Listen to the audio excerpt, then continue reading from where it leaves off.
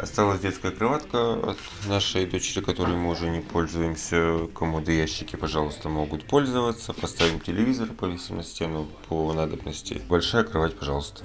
В эту комнату ярославцы, семья Садновых, готовы временно поселить беженцев. Двухкомнатная квартира, в которой Антон живет с супругой и маленькой дочкой, небольшая, показывает хозяин, но, как говорится, в тесноте да не в обиде. Кто есть желающие, могут приезжать жить, сколько им здесь нужно будет.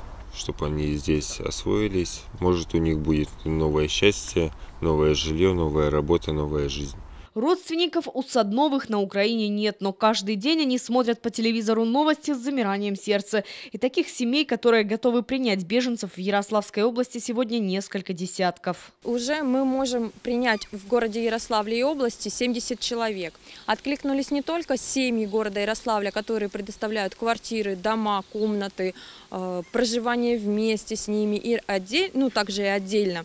А, Еще откликнулись и организации, которые готовы взять их на работу, естественно, после оформления документов. Екатерина Архиповская, координатор проекта «Мирное небо» в Ярославле. Как говорят организаторы проекта, их цель – помочь беженцам привести, устроить, обеспечить быт и питание, помочь с работой, поддержать. Нам нужны временные места для матерей с детьми, которые убегали э, в данном случае практически без ничего, прихватив документы, ребенка и несколько несколько вещей самых необходимых.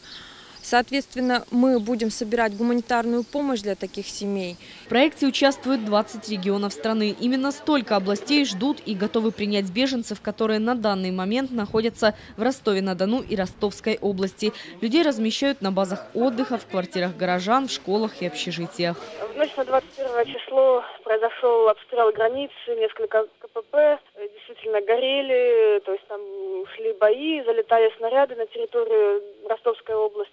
Всего несколько дней назад мы принимали ежедневно от 10 до 14 тысяч человек. А люди все-таки едут не только в Ростовскую область, они едут в Россию, которую они видят как большую, сильную, которая может им помочь. Э, поэтому мы, конечно, просим поддержки у других регионов. Помощь из Ярославля отправится уже на днях. Завтра из областного центра выезжают автобусы, чтобы транспортировать в наш регион желающих из Украины.